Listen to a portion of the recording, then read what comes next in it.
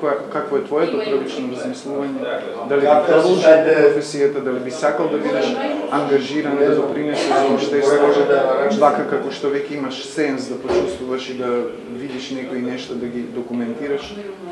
А, би продолжил со новинарството, затоа што таков сум од внатре, сакам да се борам за вистината и секогаш сакам да сум искрен.